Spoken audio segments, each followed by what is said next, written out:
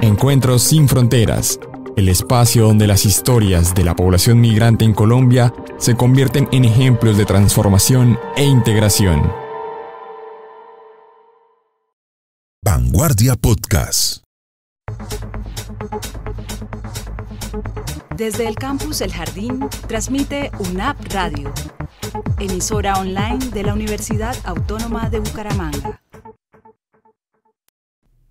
Hola a todos y a todas, soy Lisset Argote, periodista de vanguardia y esto es Encuentros sin Fronteras, el podcast que explora la integración y la migración de las personas migrantes en Colombia.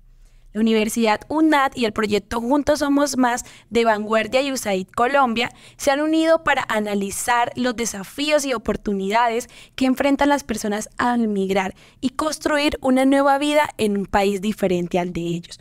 Es por eso que en este episodio vamos a analizar y explorar los factores de riesgos y de protección de la salud mental de los migrantes.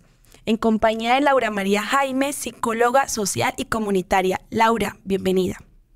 Gracias. Bueno, una vez más estamos en este eh, maravilloso encuentro. Vamos a tener la oportunidad pues, de profundizar y de entender que pues, debemos reconocer en qué momento necesitamos ayuda. Saludo a María Paula Rincón, también periodista del proyecto Juntos Somos Más de Vanguardia y USAID Colombia. Hola Dainis y pues también un saludo y un agradecimiento a la doctora Laura pues por acompañarnos acá en la mesa de Encuentros sin Fronteras. Bueno, para empezar es importante considerar que la migración es una oportunidad también para muchas personas que migran y quieren construir una nueva vida, nuevas oportunidades en un país diferente al de ellos. Eh, tengo un informe de la Organización Mundial de la Salud que, donde dice que aproximadamente el 20% de los migrantes experimentan síntomas de trastornos mentales debido a factores de riesgos que van enfocados en la separación familiar, en el en el choque cultural, en la inseguridad económica y en muchos casos que creo que todas los hemos visto es la discriminación. En este informe también se destaca que a pesar de esos riesgos que ven enfrentados los migrantes, existen factores de protección que pueden mitigar los efectos negativos, como lo es el apoyo social, las redes honoras, eh, la comunidad de acogida. Laura, eh, considerando que la migración conlleva tantos riesgos en la salud mental, ¿cuáles son esas estrategias que pueden implementar los migrantes para reformarse, para fortalecer su resiliencia? Bueno, eh, primero entender que los seres humanos nos, eh, tenemos esa, esa gran eh, fortaleza en tener la oportunidad de adaptarnos de una manera más rápida. Tenemos una capacidad de resiliencia y podemos acudir a ella. Pero también es fundamental comprender que solo el hecho de la migración es un eh, genera estrés. Tú lo decías, un nuevo país, una nueva cultura, un nuevo idioma. Entonces, desde allí, por más resiliencia que nosotros logremos desarrollar y esa capacidad de adaptarnos, sería más fácil si logramos entender que sí vamos a tener situaciones de tristeza, situaciones de dolor, situaciones probablemente que me van a, generar ese factor de riesgo y ese factor estresor, ¿sí? Entonces, desde allí empiezo a darme cuenta qué debo hacer de acuerdo a mis habilidades de afrontamiento y de acuerdo a mis habilidades sociales para eh, saber afrontar y, y, conllevar a ello, pues, a mejorar mi salud mental. Entonces, una de las cosas que debemos tener claras es que eh, voy a estar alejado de mi red social, ¿sí? Voy a estar alejado de las personas que probablemente me pueden ayudar. Entonces es allí donde debo buscar eh, entenderme, ¿sí? Cómo estoy manejando mis pensamientos, cómo estoy manejando mis emociones, cómo estoy eh, gestionando ese tipo de sentimientos que van a llegar en este momento.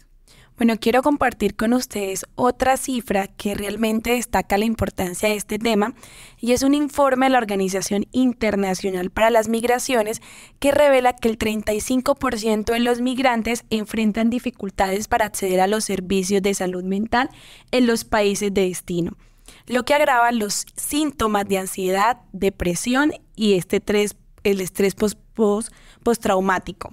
Laura, con esta cifra en mente, ¿qué factores de riesgos crees que son los más predominantes entre los migrantes que han buscado ayuda psicológica? Bueno, hablemos de esos factores de riesgo que permiten eh, de alguna manera mm, estar expuestos a, tener más probabilidades de generar mm, ansiedad. Entonces, entre ellos, cuando empiezo a pensar eh, y a darme cuenta que no estoy durmiendo bien, ¿sí? Que, eh, por ejemplo, estoy buscando sustancias psicoactivas como, por ejemplo, el alcohol, o bueno, entre otras, buscando esa forma de, aumentar los factores de riesgo porque realmente eh, por querer probablemente contrarrestar mi sentimiento, mi dolor, entonces busco este tipo de sustancias. Asimismo como aislarse, ¿no? Entonces empiezo a mejor encerrarme. Mire, ah, hay unas hay situaciones, por ejemplo, en el caso de los países donde hay inviernos muy fuertes, las personas no, no lo hacen eh, ¿Por qué? Pues porque la situación misma no les permite del ambiente y es allí donde es más, más difícil esto. Pero mientras tenga esa oportunidad, eh, dentro de los factores protectores, que es importante decirlo, está la forma de buscar salir del sol, tener contacto con la naturaleza, buscar siempre mm, a otras personas, socializar, entender un poco esa cultura, entender un poco también esas otras formas de socializarme, de interactuar, que te van a permitir mejorar esa salud mental y obviamente no aumentar esos factores de riesgo. Doctora, esos factores de riesgo podrían ser lo que llamamos nosotros las banderitas rojas, como que, hey, si estoy teniendo este comportamiento, es una red flag y debo buscar ayuda. Sí, Mira, ¿en qué momentos y, qué buena pregunta debo buscar ayuda? Por ejemplo, si tienes manifestaciones mm, por más de dos semanas, inclusive de un mes, que no puedes dormir, que sientes dolor en el cuerpo, dolores em, de cabeza o problemas gastrointestinales y que no te sientes bien, cansancio, efectivamente no estás durmiendo mínimo siete horas, es importante regular el sueño por ejemplo, que tengas un hábito de, tu sueño eh, y sientes que no, no está funcionando ese tipo de, de, cosas básicas, ¿sí? No tienes hábitos de vida saludable, es allí donde tienes que ayuda, ¿sí? De manera presencial o pues bueno, como las tecnologías hoy lo permiten también de manera online, poderlo realizar, bien sea eh, de tu país de origen o pues si tienes la oportunidad en el país donde estás, poderlo realizar. Es, es primordial entender que en ese momento necesito ayuda. Y es que sabemos que no todas las personas experimentamos el estrés y la ansiedad de la misma manera. Eh, les cuento que recientemente visité a una emprendedora migrante en el arte de la pastelería ella migró antes de pandemia, entonces vivió esa pandemia aquí en Bucaramanga.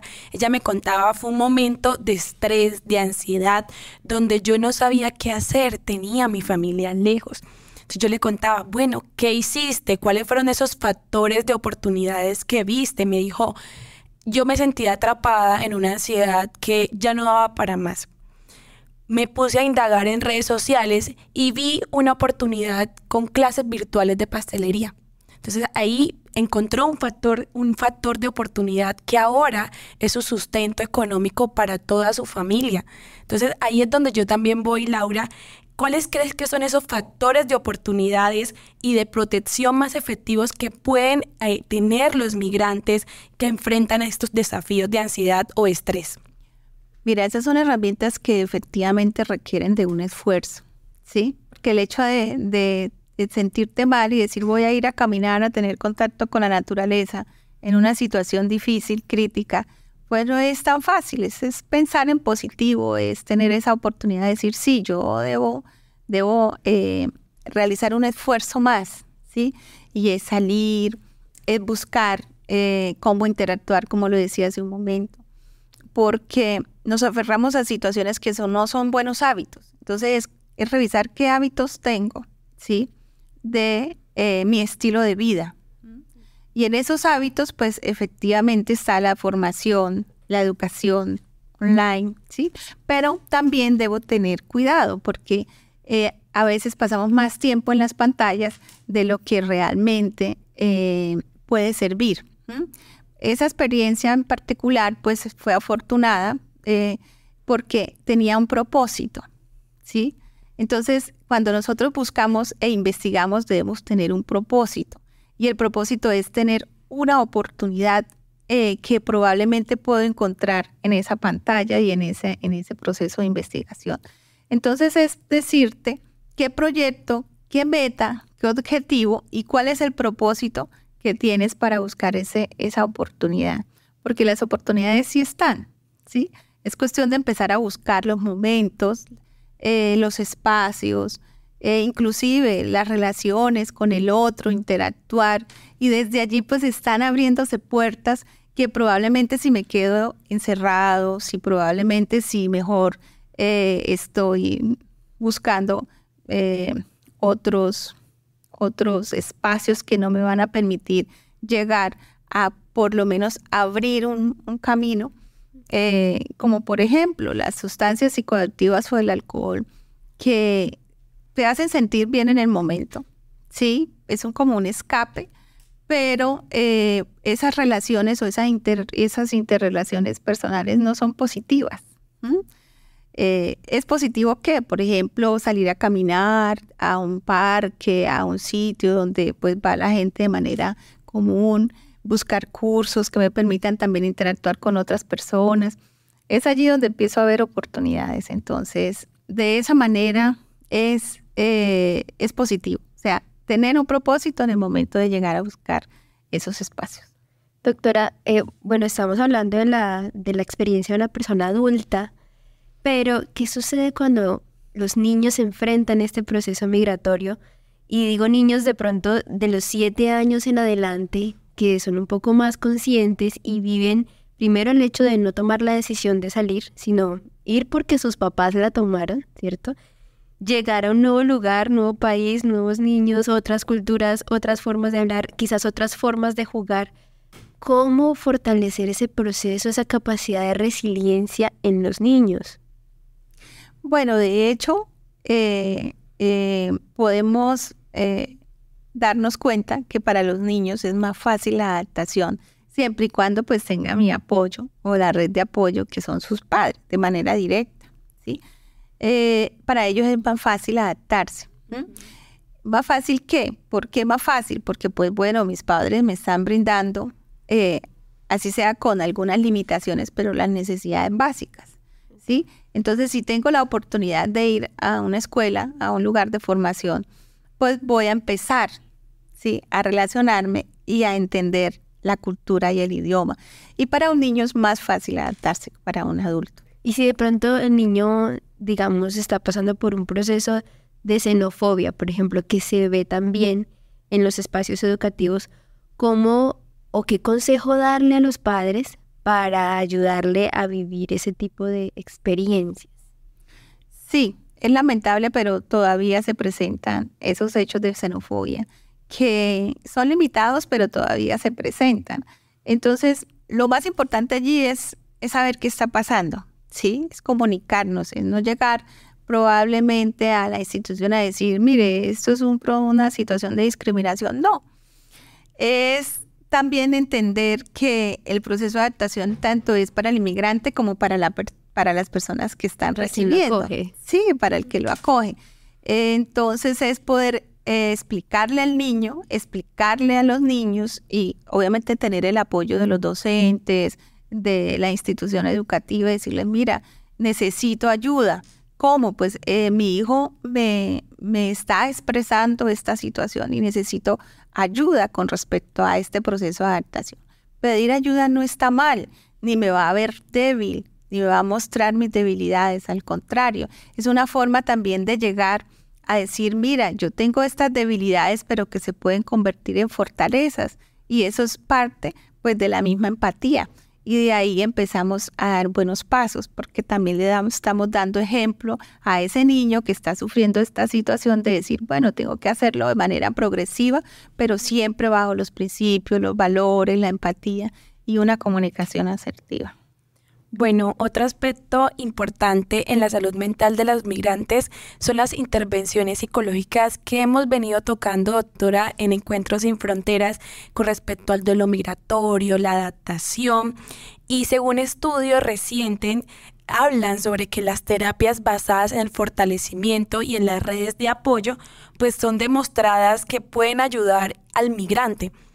Eh, Laura, desde tu experiencia, ¿cuáles consideras que son las intervenciones psicológicas más efectivas para apoyar eh, a las personas migrantes en su proceso migratorio, especialmente aquellas que pueden desarrollar algún trastorno? Bueno, miro, eh, por lo general las, las, psicoterapias son efectivas, ¿sí? Siempre y cuando genere cambios en los hábitos que he venido, eh, que me están haciendo daño y pues empiezo a generar esos cambios. La psicoterapia eh, es una forma de, con una intervención de un profesional, ¿sí? De lograr que esta persona vea la vida, vea su mundo de, en otra perspectiva. Y desde allí pues empieza a cambiar esa forma de ver todo, de pensar. O sea, empezamos a hacer reestructuración cognitiva y empezamos a ver las situaciones que probablemente eran difíciles, un poco más fáciles, ¿sí? Porque es mostrarle otra percepción de la vida, es decirle, mira, si puedes, ¿sí? Es cuestión de que empecemos a cambiar hábitos, por ejemplo. Si estabas encerrado todo el día buscando oportunidades allá en un celular, ¿sí? O en una pantalla, eh, sal, sal una hora, sal 20 minutos, empezamos a buscar espacios. Entonces, por lo general, la psicoterapia la psicoterapia, la relajación, la meditación dirigida, obviamente, da muy buenos resultados. Si es el caso, cuando el paciente necesita farmacoterapia, que en este caso, por ejemplo, tú eres medicado, si llegas a otro país y no sabes qué hacer, pero llevas tu historia clínica, ¿sí? Eh, la historia médica y sabes que necesitas el medicamento. Entonces, pues recurre, busca ayuda, busca a un, profesional de la salud, a un médico. Por lo general, el profesional de la salud es solidario, ¿sí?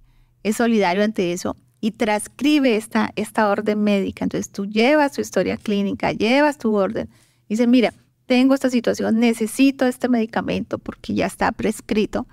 Eh, el profesional de la salud sé que te va a ayudar. Y eso está comprobado porque ya hay muchas experiencias de muchos migrantes que lo han hecho y los profesionales de la salud se solidarizan con este tema, transcriben su historia clínica, transcriben su orden médica para que tú puedas continuar con la farmacoterapia. Entonces es cuestión de llegar, de tocar puertas, de, de, tener esa, esa, también esas habilidades sociales y decir, necesito eh, este espacio donde lo puedo encontrar. ¿sí? Y en los países, por lo general, siempre encontramos instituciones que nos pueden orientar para que esto suceda. Y además, doctora, que este tema de la salud mental es un tema ya bandera en el mundo, ya hay como un clic con la necesidad de atender esto y que además, como usted lo mencionaba, la psicoterapia como que te cambia el chip, te lleva a mirar las cosas más fácil, de un, de un punto diferente, como que el problema grande ya es más pequeño. Pero volviendo a lo que su merced insistía de la necesidad de interactuar con otros y también abordando lo que decía Dainis del tema de comunidad, nosotros, por ejemplo, desde el proyecto hemos encontrado una iniciativa desde el Centro Intégrate, que es el fomento de las redes auroras en los barrios. Las mujeres, por ejemplo, que son cuidadoras, que ejercen roles de cuidado, se han integrado en estas redes de mujeres en los barrios y eso ha sido una, un método de integrarse mejor dentro de la misma comunidad. Sí, muchas decían, yo no conocía a mi vecina, eh, yo no sabía que podía tener grandes amigas colombianas y ha sido una forma de interrelacionarse entre ellas, ¿cierto? Y, y crecer incluso en, en el barrio como líderes, fomentar esos liderazgos y mitigar también el tema de las violencias, porque al yo tener a alguien con quien puedo contarle las cosas, si sea mi vecina, me siento mejor, ¿Cómo ve usted eso de, hacer un grupo de las redes de mujeres y que sea un mecanismo de integración para la población migrante? Espectacular, porque porque precisamente está esa persona o esas personas que hacen parte de esos grupos están reconstruyendo su proyecto de vida. Y eso es parte, el proyecto de vida no es solamente decir, no, es que yo quiero tener casa, carro, beca, no, es, es parte de mi vida social, es el área del ser humano, la salud mental, la salud física, espiritual y social, ¿sí? En el área social tenemos el trabajo, tenemos la familia, tenemos los amigos. Entonces es parte fundamental del ser humano y si alguna de esas áreas falla, pues estoy fallando en mi construcción del proyecto de vida. Esa reconstrucción, eh, lo que nos indica es que está en un proceso de resiliencia, en un proceso de adaptación muy positivo y que le va a permitir adaptarse fácilmente a este, nueva, a este nuevo estilo de vida y a su país y al país, pues de donde está llegando. Sí. Laura, bueno, desde tu profesión, desde tu experiencia, eh, cuéntanos qué recomendaciones le podrías dar a otras organizaciones, a la comunidad de acogida, para mejorar esa calidad de los servicios, de la salud mental de los migrantes. Mira, la salud mental debemos considerarla como algo fundamental e importante y que debemos cuidar. ¿sí? De allí depende eh, armonía, la paz, depende de una convivencia sana, solidaria. Entonces, cuando los mandatarios, los entes territoriales eh, quieren eh, en sus programas y proyectos trabajar sobre salud mental, es tener en cuenta a diferentes situaciones y problemáticas que se pueden presentar. Y entre ellas los migrantes son una, una, una área fundamental para que minimicemos, minimicemos factores de riesgo como la violencia, la discriminación, la discriminación eh, por ejemplo, la violencia con la mujer. ¿Por qué? Porque pues tenemos dificultades, violencia intrafamiliares, violencia con niños, porque es que decía eh, en algunos encuentros, todos somos iguales, entonces todos tenemos los mismos derechos. Entonces aquí no se trata de que yo soy colombiana y tú eres venezolano, entonces yo algo más o algo así. No, no, no, no, no. ¿Sí? Todos tenemos los mismos derechos y por eso si estamos conviviendo y si estamos en una sociedad es para poder apoyarnos y ser solidarios. Eso es eh, parte nuevamente, y repito, de la empatía. Entonces, la salud mental eh, nos, nos va a permitir que si estamos bien, nos sentimos bien, pues es un país que va a progresar porque hay capacidad de trabajo, hay oportunidades, hay una buena convivencia, ¿sí? Entonces también se va a beneficiar de ello. Bueno, y con esto hemos llegado al final de otro episodio de Encuentros sin Fronteras. Gracias Laura por tu compañía y a María Paula también. Y bueno, también no sin antes recordarle a nuestra audiencia que pueden seguir de cerca todos los contenidos del proyecto Juntos Somos Más a través de nuestras redes sociales, Instagram, X, Facebook y por supuesto nuestro portal web vanguardia.com. Y no sin antes darle un mensaje también a la audiencia y la doctora Laura me apoyará en esto y es que se vale pedir ayuda. Hay muchas instituciones y espacios que están prestos para abrir esa, esa, esa empatía, esa conversación que se puede necesitar en un momento de crisis, ¿o no, doctora? Gracias también a ustedes. Y sí, efectivamente no es un, un, un rasgo de debilidad, al contrario, es una fortaleza cuando soy consciente de mi, de mi situación y busco alternativas y entre ellas es buscar ayuda. Entonces, y cuando, como dice un, dicho popular, el que busca encuentra, ¿no? Entonces, si tú decides con un propósito buscar ayuda con, para mejorar mi calidad de vida, para construir, reconstruir mi proyecto de vida, sé que la vas a encontrar. Entonces, bueno, no, gracias también a ustedes por la invitación y a todos. Espero que este, este gran eh, conversatorio y mensaje pues, pueda llegar a las personas que lo necesitan y a las personas que si tienen a su lado a alguien que pide esa ayuda, eh, es importante tender esa mano. Perfecto. Bueno, y a las personas que necesiten eh, ayuda en apoyo psicológico, emocional, emprendimiento, empleabilidad, tenemos el Centro Integrate que está ubicado en el Centro Cultural del Oriente, que sé que los profesionales les van a brindar la ayuda necesaria. Nuevamente, Laura y María Paula, muchas gracias y sé que nos vamos a reunir muy pronto en otro episodio de Encuentros sin Fronteras. Bien, muy amable. Hasta luego. Hasta un nuevo momento.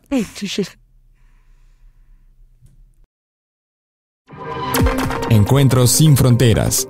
el espacio donde las historias de la población migrante en Colombia se convierten en ejemplos de transformación e integración.